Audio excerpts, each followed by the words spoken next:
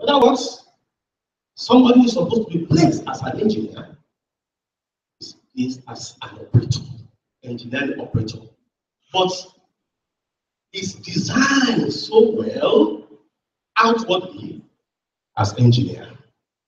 That's what I said, especially for appropriate placement of technical personnel. Cooperation within the Nigerian family. The personality conflict between the Nigerian engineers, technologists, and technicians should be resolved. Fresh graduate, I'm an engineer in this room. Of course, the technology will also tell you that before you were born, this is how we have been doing it. You cannot just come one day and tell us something. Your own is book, our own is practical. That's an impasse. And at the end of the day, an artificial fault will be introduced by the technician. You know the technician reports to the technologist. When the artificial fault is introduced, you go and call the engineer. Oh yeah, engineer, a fault is not working. You're engineer. You are proud. You'll be sweating, but you cannot do anything. But what is the implication? Organization is suffering. You cannot move. Each member, the engineer, the technologist, technician, and artisan has his own unique, well-defined role and responsibilities, which should be duly performed. That's why we call it engineering.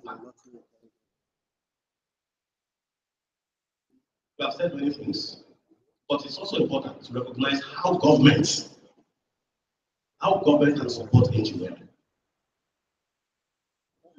There are ways, based on what you have said, government has to play in each. Take, I'll take one after the other. First, building foundation in engineering. Nigeria's new generation of engineers, the students, poorly understand the role of engineering and the importance of the sciences and mathematics that underpin the ubiquitous technology that the way we live. Teaching engineer society, or some people say introduction to engineering, transfer of technology. That's old fashioned. A good number of students find their way into engineering education institutions without knowing its demands, meaning that very few are indeed engineering students. If you are studying engineering and you don't know what is expected of you as an engineering student, you are not an engineering student. The consequence is shortage of engineering skills across the economy. Engineering education institutions to ensure base-band training in sciences and mathematics at the foundation level without compromising the requirements for progression to the subsequent level training. I'm glad most engineering institutions in Nigeria do this. They are students of the sciences first. In my university, as students of sciences in 100 level, we have a requirement, we call it 1088.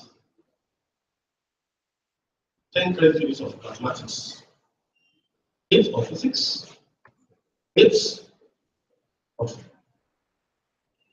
chemistry, must be chemistry. If this not pass, I don't move to 200 level, no matter your CGPA. Even from one level to another, there are requirements. Your CGPA must not be less than 2.0 for you to become a 300 level student. It causes conflicts in within, but it is necessary. The conflict will be resolved. There's a particular professor. The son had a defect somewhere which could prevent the graduation of that boy. He did not take it kindly. He marched straight to the GA attached to the lecturer. That was I'm only receiving instructions. Then he marched straight to the lecturer, who happened to be the head of the department at that time. He said, after investing so much years toiling for this university, my own son will not pass. And for that matter, the son of a professor. Understood our grounds. All these are towards ensuring quality products. Revamping the educational system.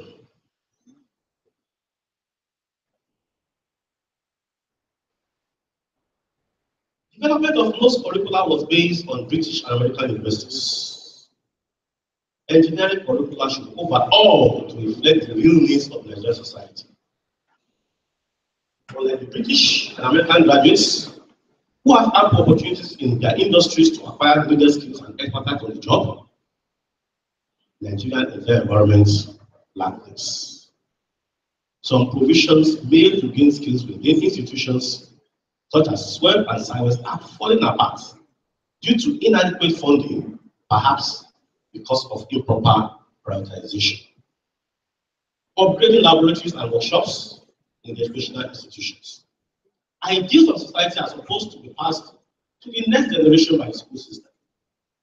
Many tools in lab and workshops for older Nigerian universities are obsolete, while labs in newer universities are not adequately equipped well, how investors are granted these days? I have no comment. Nigeria cannot aspire to be a producer if basic labs cannot be appropriately conducted for students. The nation, both public and private sectors, must invest monumental resources towards upgrading educational infrastructures. Adequate funding of research. Engineering education research will be framed by the understanding of the economic realities and operating conditions that industries face to respond competitively in the face of intense global competition. Research institutions should be adequately funded to ensure effective research taking. Findings therefrom or inventions should be commercialized. Research outputs and developments and inventions from universities and polytechnics should be commercialized for effective productivity. Specifically, researches and innovations from universities and other research institutes should be sold to the private sector. It's also necessary to provide and sustain enabling environment for local production. Government should strive against global economic crisis and ensure macroeconomic stability to enhance Nigeria's productive capacity as a stable macro economy elicits confidence and promotes investment. Innovative ways to drive down interest rates and inflation should be pursued. By attracting massive investment in infrastructure, cost of production will be drastically reduced to make Nigeria's product competitive in a globalized business environment. There should be liberal availability to credit at a reasonably low interest rate. Government support for Nigeria continue. Policies should be consistent and multiple taxation avoided. Efforts of the federal government through the central bank to subsidize interest rates should be intensified.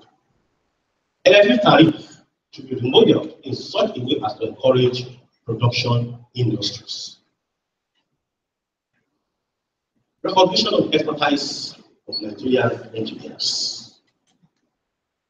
Considering the comparative assessments of Nigerian and foreign engineers right from school days, Nigerians have proved themselves to better than many, than many foreigners, both within Nigeria and abroad. At the cost level, it is the same electrical power engineering, same strength of materials, same control and instrumentation, same structural analysis, etc that is taught all over the world to Nigerians and by Nigerians. The difference is the instructional method. Government should be fair to Nigerian engineers by appropriately recognizing their expertise and giving them opportunity and free hand to perform their functions. On professional practice, NSE is recognized as the umbrella for the Nigerian engineers. COREN, as the regulatory body, and the Nigerian government. It will be ridiculous, therefore, if the same Nigerian engineers cannot well entrusted with engineering responsibilities.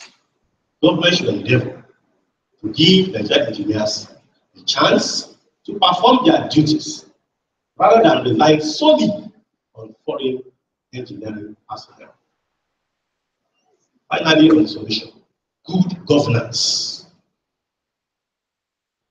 Nigeria's productive capacity can be built and move the country away from predominant consumer to predominant producer by attracting foreign direct investment or local investment by the following. Rebuilding Nigeria's image. Nigeria must be a country where the rule of law reigns supreme. Same law for everyone. And where every Nigerian is entitled to the security of life and property. Not only for political office holders. A country where crime does not pay and where every crime is punished with the full weight of the law. Avoiding corruption in word and deed. The high corruption perception is a sufficient reason to discourage investors. All levels of government and civil society, including religious organizations, must give way to a holistic and all-embracing abhorrence to corruption and indiscipline at all levels. My colleague mentioned that they are not comfortable with corruption. That can hinder a lot of things. Nigeria's leadership should be sincere with foresight vision and having Nigeria at heart, as this will go a long way in the creation of trust, love, and unity to bring about the necessary patriotism by Nigerians to sustain and promote the virtues of the nation. What have we said so far? In conclusion, we have provided an insight into what constitutes a nation with recognition of Nigeria as a nation. We have identified the problems which led to the low productive and consumer-driven nation, Nigeria. We have appraised engineering and the scope of its impact on development. We also considered the engineering role in proposing strategies of changing the nation, Nigeria, from its present status as consumer to a production-based nation. We have presented measures by which government can aid in the realization of proposed strategies. This on the brief provided in this lecture. It is recommended that all stakeholders place their hands on deck to ensure that the nation, Nigeria, becomes production driven rather than consumer driven. Before I sit, I have to thank of people. First, God Almighty, for the life and making this day a reality. I want to thank the entire management of the University of Benin under the distinguished leadership of the Vice Chancellor, Engineer Professor FFO Orumwense, for considering me worthy to deliver this timely and very important lecture. I want to thank my dean for reaching me that I should come and deliver this lecture. I would have been able to come here if my vice chancellor in my university, Federal University of Technology, Minna, Professor M.A. Akanji, has not granted me permission to come and carry out this very important assignment. I want to thank my family too, because anytime I want to go out of the town, my wife will always say something that that I want to travel is always a bad news to her. And my daughter always say, Daddy, you are traveling again. However, they always support me with their prayers. So I want to thank them for releasing me and supporting me with their prayers. I want to thank all my teachers, lecturers, and instructors for the knowledge imparted on me. That's why I can stand here today. I want to thank all contributors, including those in proxy. I've acknowledged them in the main lecture manuscript. if this esteemed audience is not here, I cannot be standing here. So I want to thank the audience for being present and listening attentively. To all, I say thank you for your attention. Thank you very much.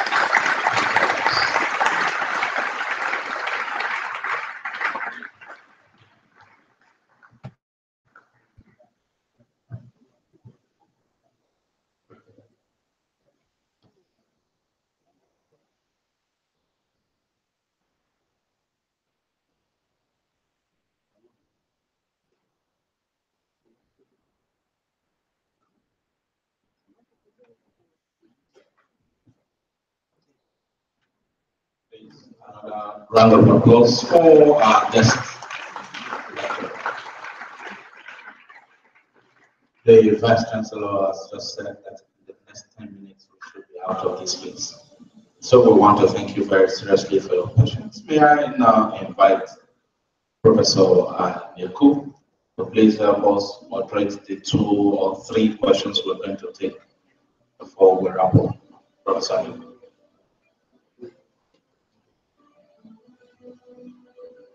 Thank you very much, everybody.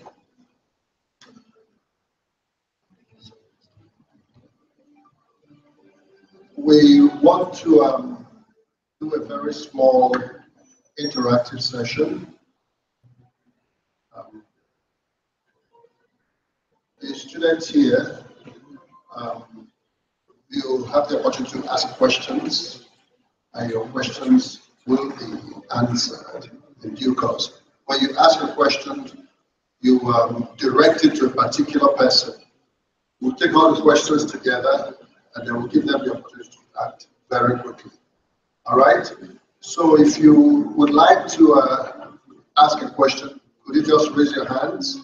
We will. If you'd like to ask a question, you raise your hand. We'll take a number and then um, we can hand them over to you. Right? You there? Okay, that's number one. Number two. Number three. Any other person? Number four. We okay, number five. I think we can take those five questions. We must be very brief, okay? The Vice Chancellor is uh, encroaching too much in his time. Number one, please approach. Number two, be ready follow.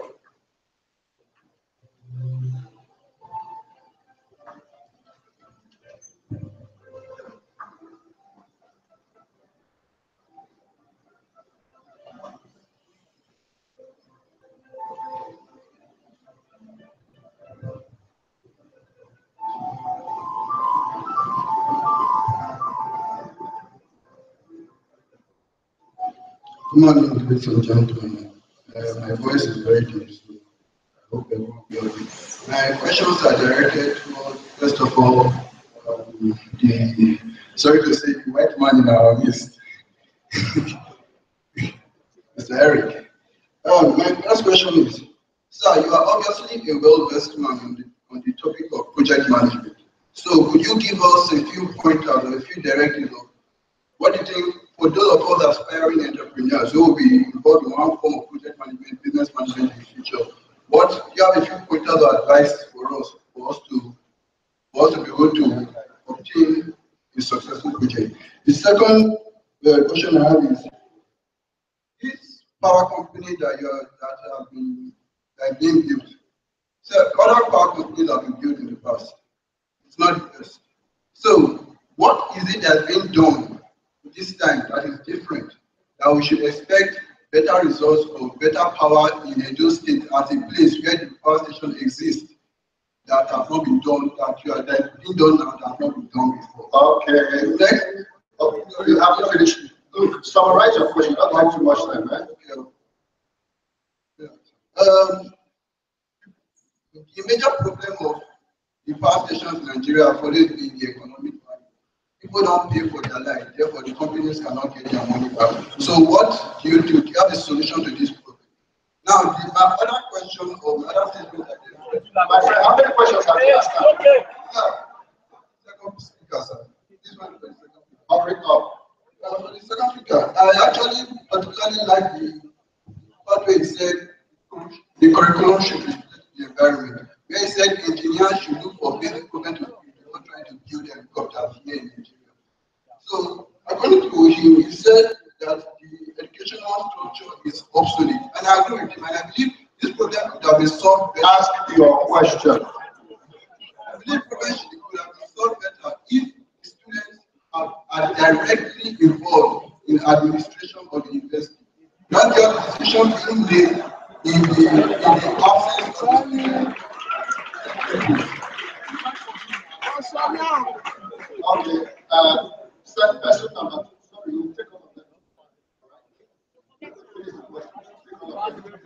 sorry. Um, sorry, the, please, make sure, just a little advice, write down your question. So that when you come out here, you just read it for us. The vice is pressed for time, okay? So that you just read for us and let them respond so that we can discuss. Thank you. Candidate number two. Okay, thank you. That's Yeah, number three. Number three, begin to get ready. that's what my, name is okay, my question related to, uh, Eric Lathouwers. While he was giving the lectures, he made mention about the type of gas, uh, turbine that was built. And he said that, uh, it was, uh, diesel, diesel turbines were not used because it has many moving parts. Uh, combined cycle was not used because it was expensive. Now, I want to know why was the cycle used instead cycle? Uh, is it's, it's not feasible or just, I just want to. All right, thank you very much. Number three. Bring the microphone down.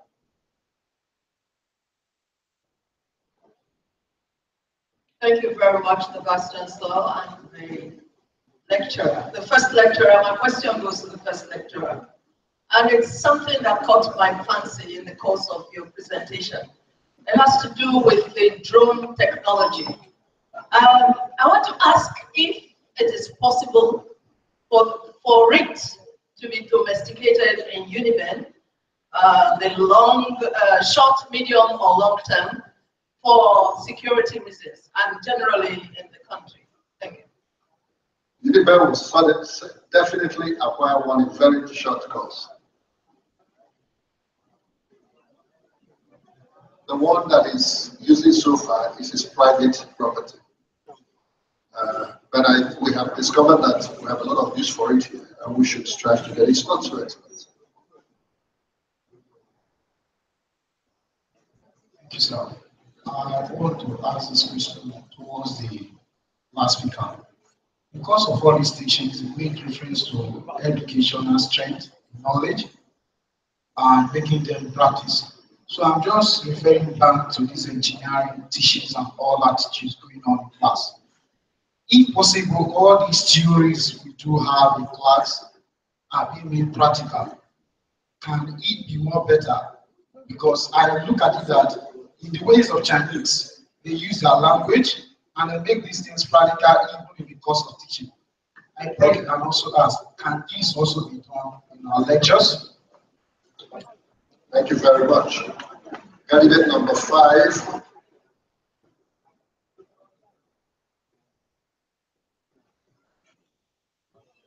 Uh, Good afternoon, everybody. My question goes to the last speaker. I want to ask, during the course of your lecture, you made us understand that uh, you have situations where you have more than three, four, five people backing to publish one paper. What I want to ask is that, is there any provision for you, for me to acknowledge excellence in the aspect of lecturing? Because most of the things we have, most of the lecturers, what they do is they only appreciate them for the number of papers they have been able to publish. What about their excellence in terms of their classroom performance? They have not been acknowledged in that area. So what do we do? What do the school management have to do to be able to acknowledge lecturers in this area? Thank you. thank you. Number six. Oh, is it finished? Great, wonderful. Um, I think we can begin to, where's the microphone?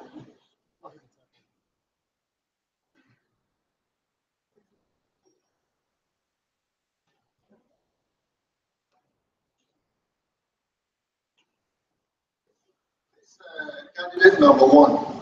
You know, you asked so many questions, we lost track of all of them. I hope you're learning because nobody knows any of your questions now.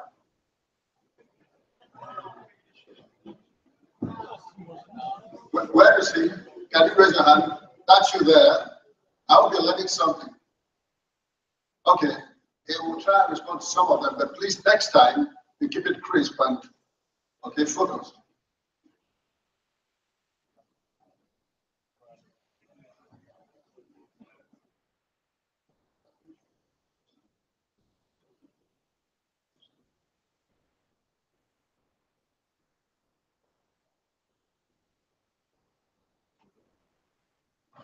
Hello? Yes. Okay. Um, I think the first question was um, a very long one. And um,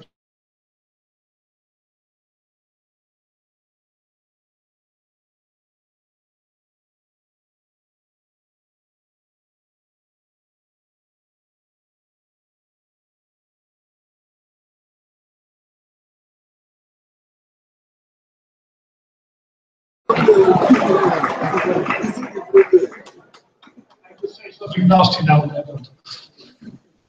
Okay, uh, and the second part, of course, is um, how to return your revenue and your investment long term. Okay, first, um,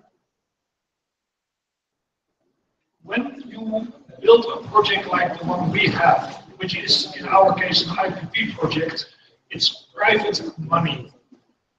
And private money means that you make sure that you build a world-class power station with world-class economy. On the way, it is still economically viable. So what does that mean? First, um, in our office, we have 14 people working. That's two expats and 12 locals, and that includes from drivers to, uh, to my assistant. Do they work hard? Yes, they work hard. They make long days. I think we pay them well. I think we have a good um, working environment. And as we see for the last year, we had basically no people uh, absent due to sickness. We had two cases of malaria, which is of course unfortunate. That's it. So we have lost basically no hours on, on our staff. Of course, we have a clinic at site, uh, we have good insurance at site. So it makes people aware that it is coming from both sides, not just from the employer. If you compare this to, um, to a government funded project, basically they just say, well, there's enough money, if I'm there or not, who cares, I get paid anyway.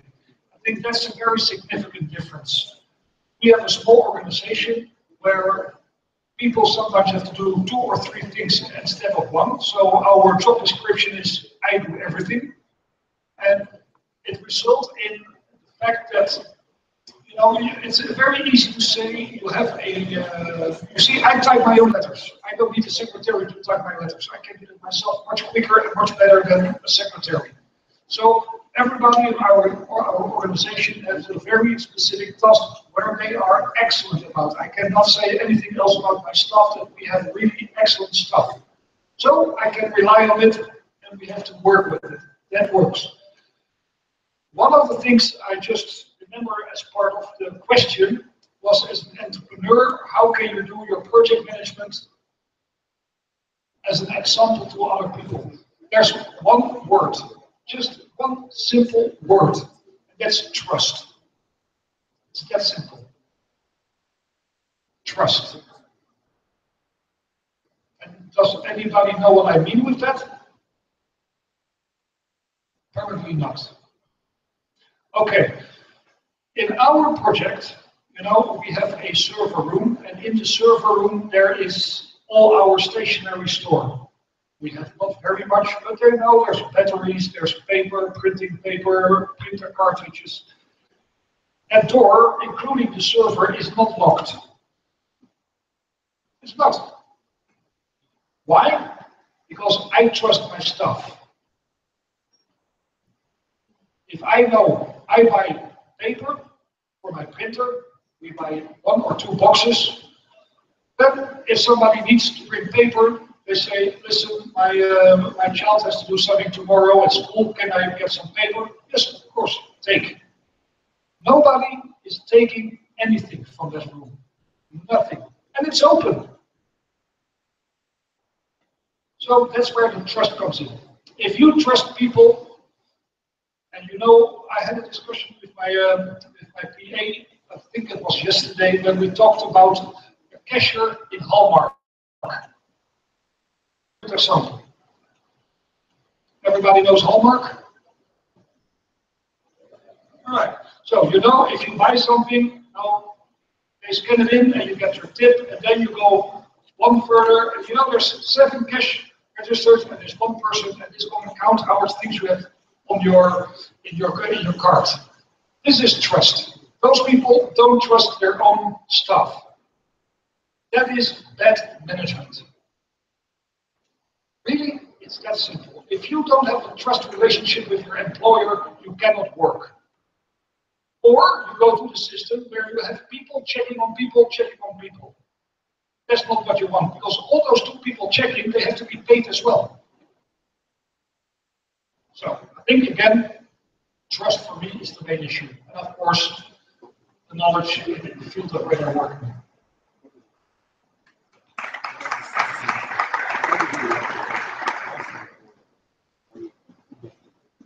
Okay, then we have the second question. I'll just continue anyway.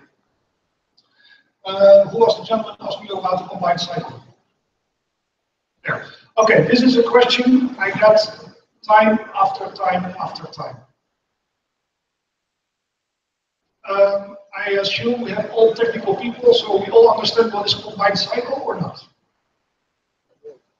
In general. Okay, right. Okay. The point again is economics. We, from a project point of view, we say it costs you about a million dollars per megawatt. So if we consider that my project is 459 megawatts, we are around the 450 million dollars to build and maintain our project. If you want to switch over to combined cycle, you can, let's say, you increase your uh, your efficiency of your power station by, let's say, 80%. However, the cost is a factor three. So it's purely economics. Side effect that um, combined cycle is a lot more difficult to maintain. You need water, you need condensers, you need pumps, you need, it, it's, it's, it's more complicated. So I think in our point, we, we, we have considered it and it's still in the back of our head. However, for now, we just say, listen, we have a contract for 459 megawatts. Let's do that first. If that works, we go look for stage two. And stage two can be another 450 megawatts, but that also can be we convert to combined cycle. The equipment is is prepared for that, so it's not rocket science to change to combined cycle. For now, it's just an economical picture where we say, let's first see what's happening, and then we go see what we're going to do further. Does this answer your question?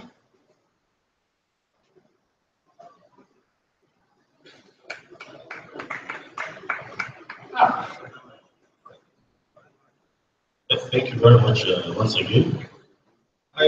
I three people asked questions.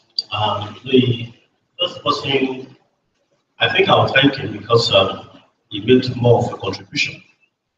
Um, but in terms of the students' involvement in the university um, administration, um, let me tell you something about um, university. There are two major players. The government itself has set up this institution um, represented by the management on one side. Um, the staff that will do the work represented by their union. The government develop the policy, give the management to implement the policy. Management will use the staff who actually carry out the policy. And the students are the recipients that want to benefit. Um, just like in the power, uh, when you talk about the power network, the students are like those that utilize the power. However, in as much as it is now obvious